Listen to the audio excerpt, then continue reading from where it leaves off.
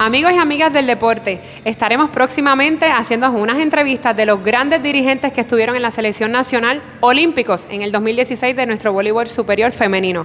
Atentos, que ahora vamos. Ramón Lorenz, dirigente de las atenienses de Manatí. Ramón, 15 años en la liga. Esta no es tu primera, ¿verdad?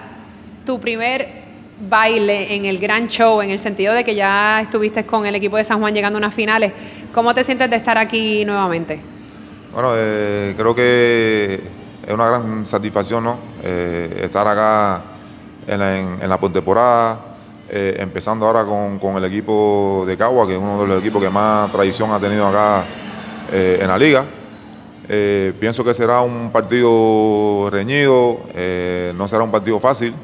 sabemos que al equipo que nos, que nos enfrentamos y, y trataremos de hacerlo lo mejor posible en la cancha. Tus últimos años estuviste con el staff de Cagua. ¿Crees que es una ventaja estar en una miniserie con ellos?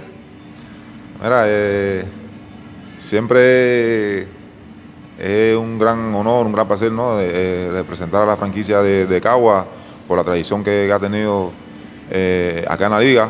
el staff, Carlito es como, como mi hermano y hemos trabajado en otras ocasiones también con la, con la selección.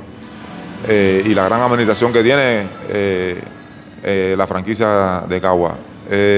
no es que sea ventaja ni, desventaja tampoco, ¿no? conozco algunas algunas jugadoras porque hemos trabajado, también en, el programa de las selecciones nacionales, pero no estoy ajeno, ¿sabes? Que estoy, que estoy enfrentándonos a un equipo que, tiene veteranía y sabe jugarle este tipo de, de escenarios. Así que eh, la cancha dirá eh, la, última palabra y, y, que las muchachas salgan a darlo todo. Muchas gracias y mucho éxito. Gracias, gracias a ustedes.